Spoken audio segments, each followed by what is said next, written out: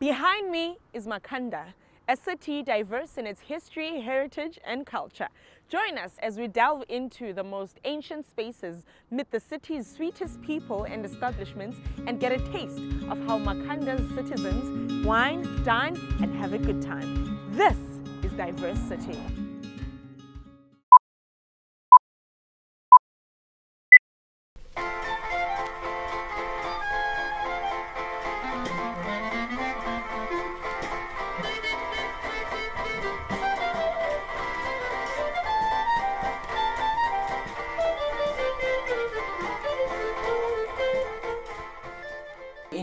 About what the Cock House was before it became the guest house slash restaurant it is today? It was a private house, 1826 to about 19... 91, 1990.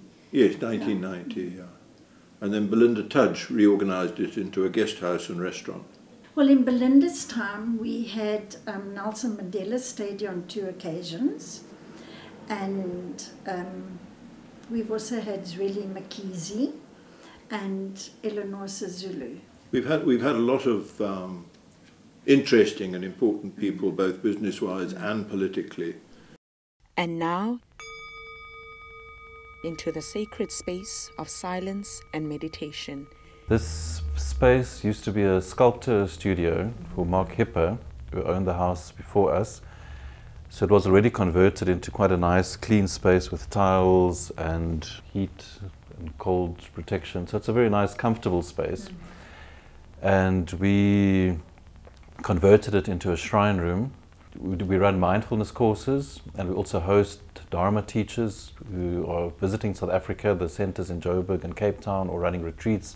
They come and give uh, courses here. I think it does have a quite a nice atmosphere, especially in the evening when we light the candles and there's incense going and people are sitting quietly. It's got a, um, I mean, it is to promote uh, peace, I suppose.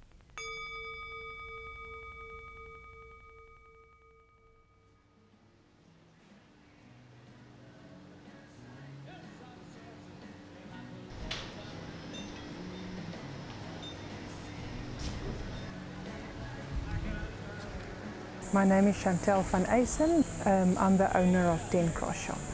So 10 Cross Shop is the address of the, the shop. We are 10 Cross Street.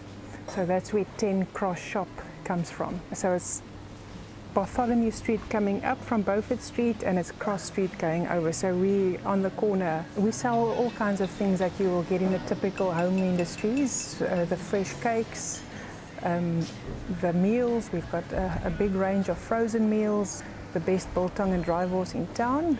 We've got a range of fresh vegetables, cheese, dairy, and then we've got a, a selection of um, gifts, handcrafted items. We've got a lot of vendors involved at the shop, close to 100.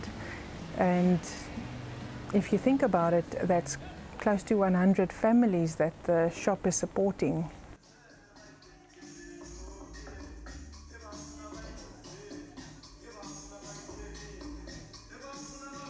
My name is Pinky Sobahle. I took interest in those beautiful buildings and that's how I got to see the Cathcart Arms and told myself one day I will buy it.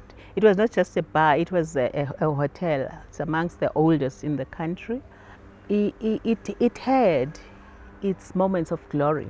It is situated in, in what was then the, the, the CBD it, has got that history. And bars can be, you know, a place, a place it's where people meet and talk, you know, share ideas. Actually, this place, to me, is the cultural hub of Grahamstown.